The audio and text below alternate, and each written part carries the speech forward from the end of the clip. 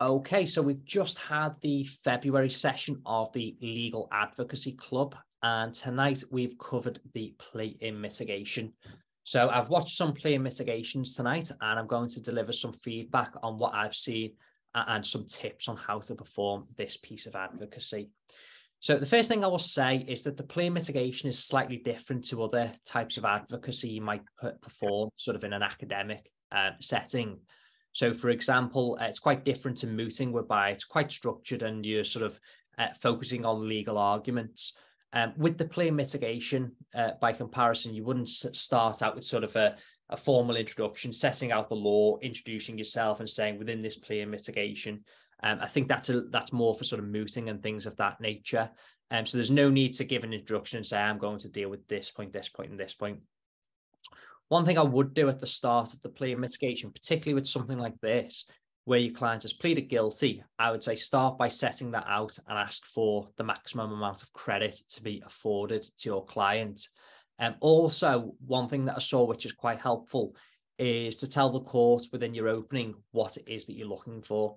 So, a number of people said, um, uh, within this plea and mitigation, I'll be seeking um, or I'll be asking the court to sentence the defendant in line with the pre-sentence report.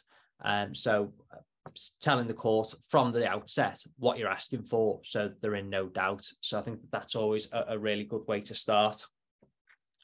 So just dealing with some uh, general points of presentation um, to start with. Um, as with as with uh, most pieces of advocacy, all all pieces of advocacy, I should say, um, a nice slow pace is what we're looking for keep it slow. It's easier for your bench or your judge to follow. It's easier for them to listen to what you're saying. It makes you seem like a much more calm, much more controlled advocate. And it also makes you uh, seem much more persuasive as well when you're talking in that slower manner. Also, remember to take regular pauses as well.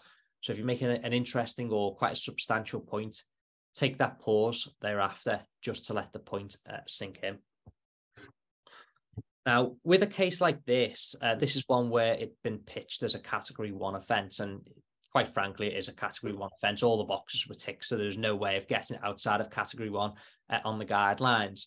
So I wouldn't advise trying to challenge that at all, you know, trying to argue that, uh, you know, the, the, defendant wasn't driving within a, a recent period of the disqualification being imposed or there wasn't excessive bad driving or anything like that, because the facts are the facts. There's no way of you getting around that. So you're stuck with the facts of the way that they are. So don't try and challenge the categorization.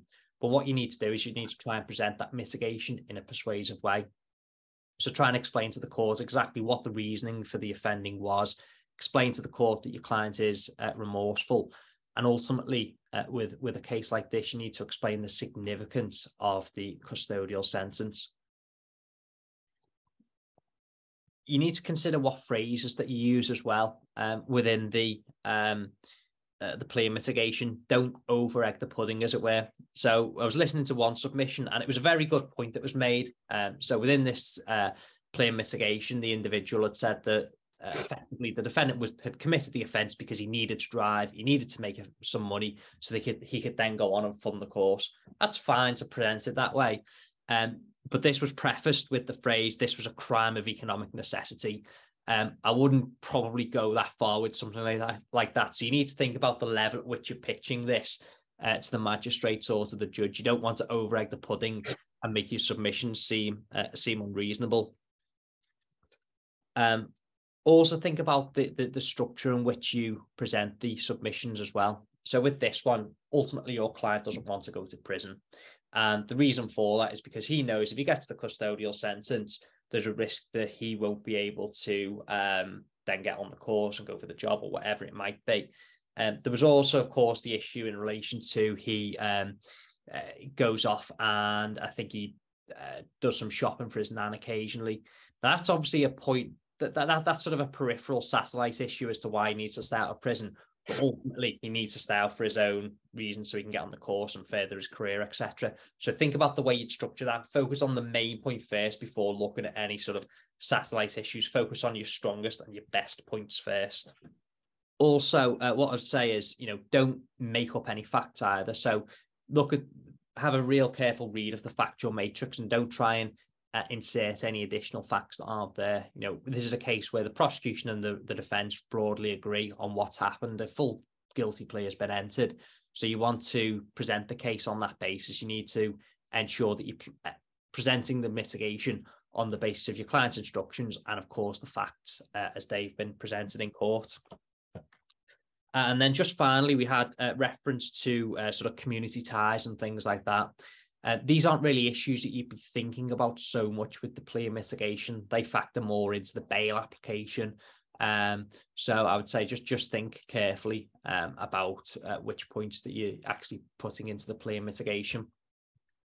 So uh, those are just some tips for the plea mitigation, and um, I- have linked them to tonight's problem. So I hope that they've uh, those tips have been helpful for you.